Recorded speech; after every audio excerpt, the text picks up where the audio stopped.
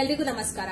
ದಿನೇಶ್ ಗುಂಡೂರಾವ್ ಅವರು ಹೇಳ್ತಾರೆ ರಾಮ ಮಂದಿರ ನಿರ್ಮಾಣದಿಂದ ಕೊರೋನಾ ದೂರ ಆಗೋಲ್ಲ ಅಂತ ಹೇಳಿ. ಕೊರೋನಾ ದೂರ ಆಗ್ಲಿ ಅಂತ ರಾಮ ಮಂದಿರ ಕಟ್ತಾ ಇಲ್ಲ ಸ್ವಾಮಿ. ಆದ್ರೂ ಹಿಂದೂಗಳಿಗೆ ದೇವರ ಮೇಲೆ ಖಂಡಿತ ನಂಬಿಕೆ ಇದೆ. ಆ ನಂಬಿಕೆ ಕೂಡ ಇದೆ. ದೇವರನ್ನ ಪ್ರಾರ್ಥಿಸೋದ್ರಿಂದ ಕೊರೋನಾ ಕಡಿಮೆ ಆಗುವ, ಆಗಬಹುದು ಅನ್ನುವ ಒಂದು ನಂಬಿಕೆ ದೇವರನ್ನ ಆಸ್ತಿಕರಲ್ಲಿ ಖಂಡಿತ ಯಾವಾಗ್ಲೂ ಇರುತ್ತೆ.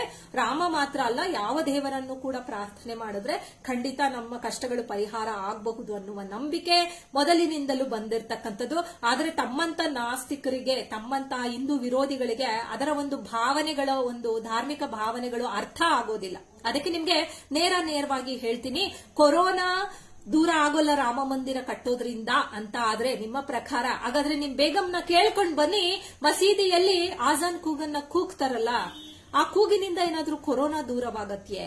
ಯಾವ್ದಾದ್ರೂ ಕಾಯಿಲೆ ವಾಸಿ ಆಗಿದೆಯಾ ಇವತ್ತಿನವರೆಗೂ? ಹಾಗಾದ್ರೆ ಅವ್ರಿಗೆ ಯಾಕೆ ಹೇಳ್ಬಾರ್ದು ನೀವು?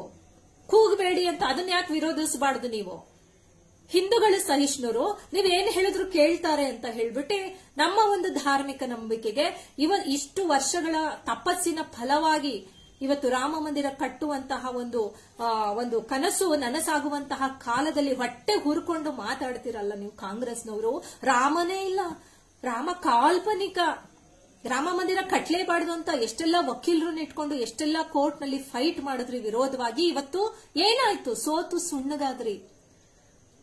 ಸೋತಿದ್ದಕ್ಕೆ ನಿಮ್ಗೆ ಏನಾಗ್ಬಿಟ್ಟದೆ? ತಡ್ಕೊಳಕ್ ಆಗ್ತಿಲ್ಲ ಇವತ್ ಏನಾಗಿದೆ ಅಂದ್ರೆ ರಾಮ ಮಂದಿರ ಕಟ್ಟೋದ್ರಿಂದ ಕೊರೋನಾ ದೂರ ಆಗಲ್ಲ, ಆದ್ರೆ ರಾಮ ಮಂದಿರ ಕಟ್ಟಿದ ನಂತರ ಜನರ ಮನಸ್ಸಿಂದ ಕಾಂಗ್ರೆಸ್ ಖಂಡಿತ ದೂರ ಆಗುತ್ತೆ ಅನ್ನುವ ಒಂದು ಭಯ ಇದೆಯಲ್ಲ?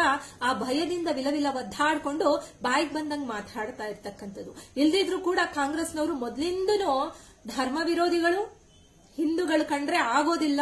ಹಿಂದೂ ವಿರೋಧಿ ನೀತಿಯನ್ನ ಅನುಸರಿಸಿಕೊಂಡು ಬಂದಿರತಕ್ಕಂಥದ್ದು ಒಂದು ಸಮುದಾಯಕ್ಕೆ ಒಂದು ತುಷ್ಟೀಕರಣ ರಾಜನೀತಿಯನ್ನ ಮಾಡ್ಕೊಂಡು ಬಂದಿರತಕ್ಕಂಥವ್ರು ಇವತ್ತು ರಾಮ ಮಂದಿರ ಕಟ್ಟುತ್ತಿರುವಂತಹ ಒಂದು ವಿಷಯ ಏನಿದೆ, ಅದು ಜೀರ್ಣ ಮಾಡ್ಕೊಳ್ಳಕ್ ಆಗ್ತಿಲ್ಲ ಇವ್ರುಗಳಿಗೆ. ತುಂಬಾ ಕಷ್ಟ ಆಗ್ಬಿಟ್ಟಿದೆ, ಹೊಟ್ಟೆ ಒಳಗಡೆ ಒದ್ದಾಡ್ತಿದ್ದಾರೆ ಹಂಗೆ.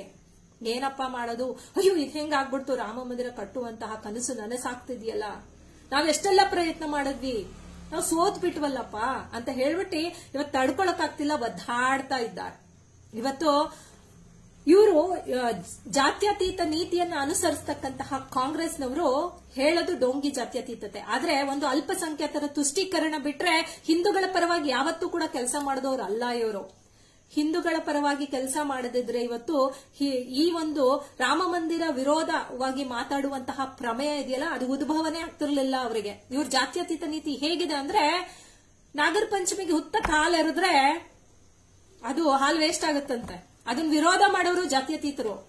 ಅದೇ, ಬಕ್ರೀದ್ಗೆ ರಕ್ತ ಹರಿಸ್ತಾರಲ್ಲ ಅಂಥವರಿಗೆ ಈದ್ ಮುಬಾರಕ್ ಹೇಳುವಂತಹ ಒಂದು ಆ, ಅನಿಷ್ಟ ಜನರು ಅಂತ ಹೇಳಿಕ್ ಬಯಸ್ತೀನಿ ಕಾಂಗ್ರೆಸ್ನವರು. ಈ ಒಂದು ಜಾತ್ಯತೀತ ನೀತಿಯನ್ನು ಅನುಸರಿಸಿಕೊಂಡು ಬಂದಿರತಕ್ಕಂತಹ ಒಂದು ಕ- ಕೆಟ್ಟ ಅನಿಷ್ಟ ಜಾತ್ಯತೀತಿಯ ಜಾತ್ಯತೀತೆಯ ಪುಂಗಿ ಓದುವ ಢೋಂಗಿ ಕಾಂಗ್ರೆಸ್ನವರು ಇವತ್ತು ರಾಮ ಮಂದಿರದ ವಿರುದ್ಧ ಕೂಡ ಮಾತಾಡ್ತಿದ್ದಾರೆ. ಕೋರ್ಟ್ ತೀರ್ಪು ಕೊಟ್ಟಿದೆ ಕಟ್ತಾ ಇದ್ದಾರೆ ಅಷ್ಟೇ. ಕೊರೋನಾ ಸಂಕಷ್ಟ ಇದೆ ಅಂತ ಹೇಳಿದ್ರೆ ನೋಡಿ ಜನ ರಾಮ ಮಂದಿರ ಕಟ್ಟಕ್ಕೆ ಸ್ವನ್ ಇಟ್ಕೆ ಕಳಿಸ್ಕೊಟ್ಟಿದ್ದಾರೆ. ಏನ್ ಬೇಕು ಕಳಿಸ್ಕೊಟ್ಟಿದ್ದಾರೆ? ಕಂಬಗಳನ್ನ ಕಟ್ಟು ಕಳಿಸ್ಕೊಟ್ಟಿದ್ದಾರೆ. ಧಾನಿಗಳ ಮಹಾಪೂರ ಇದೆ.